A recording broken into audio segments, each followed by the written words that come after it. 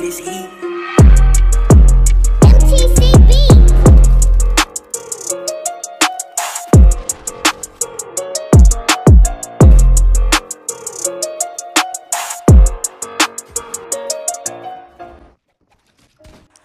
What's up boys, Dom here, and back to another video.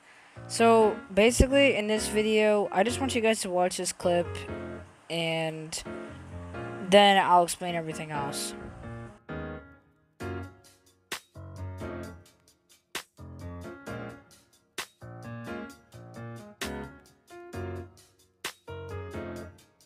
Now, I just want you to pay attention to the person on the fighting's movement. Now, these are the movement techniques and also mine that I'm going to be showing you in this video. Okay, so just one thing I'm going to tell you guys before you guys watch this video. I would still like you guys to watch it, but these um movement like things that these movement techniques that are mostly um well known and good on controller do not try them on keyboard and mouse. Like I mean, you could, but like it it's not the same. Keyboard and mouse, it's better if you just jump on people's heads, and that's what keyboard and mouse is meant for for movement. You just have to make it so they can't hit you by jumping over their head because you have such a higher sensitivity. Controller, however, because I play on it and my friend Ivy Gaming plays on it, which is also Bella, if you guys didn't know that.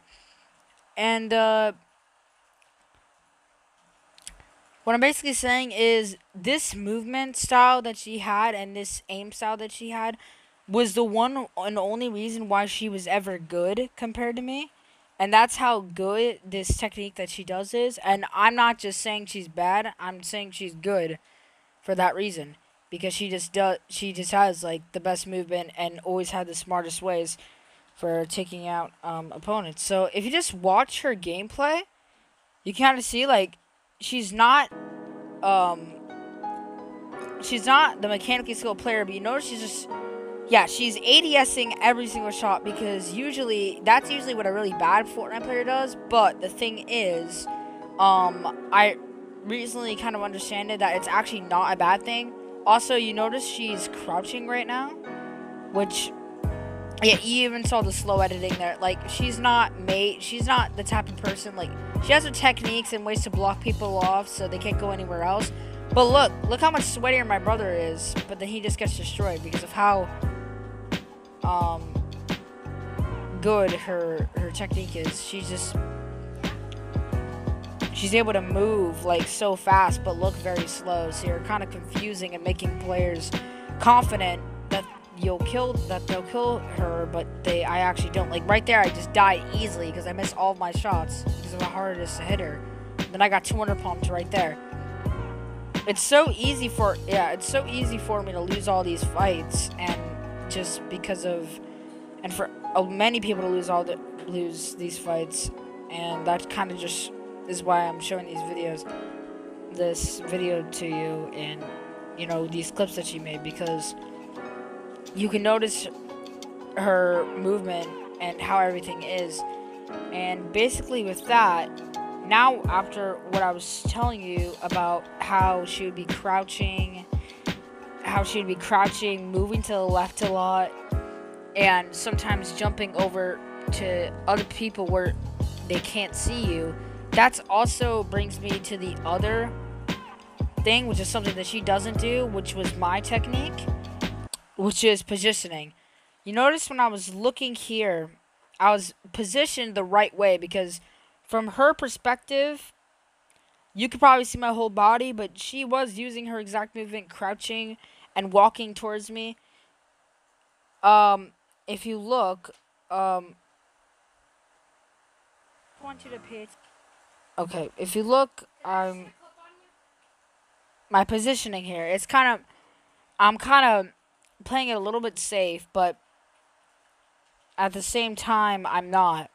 And that's kind of what I want you guys to know. You can't just play it super safe and expect that your opponents um not going to um kill you faster because you're playing a little bit slower and smoother.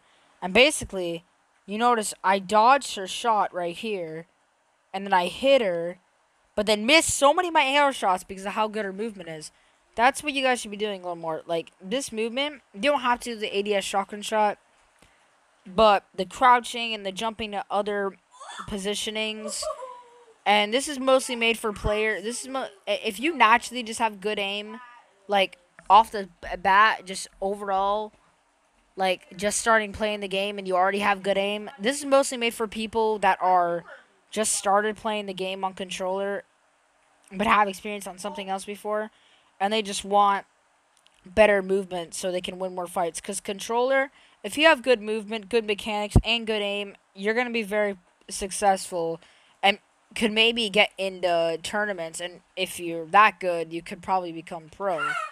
With if you have all this stuff and movement and aim on controller, especially, is the most important mechanic in Fortnite. Which for me, I didn't know that at first because I was paying too much attention on my creative warrior skills. That's why my builds got a lot worse, but my overall skill and other mechanics have gotten way better and more consistent. So yeah, that that is it for this video. And I will see you guys in the next one. See you guys. And I also want to add one more thing. You notice that this movement style will make players look like a really bad player, but that's the thing is that you're confident at first that you're going to beat them, but then they just destroy you. So it forces you not to try. But I'm not tap, that type player anymore.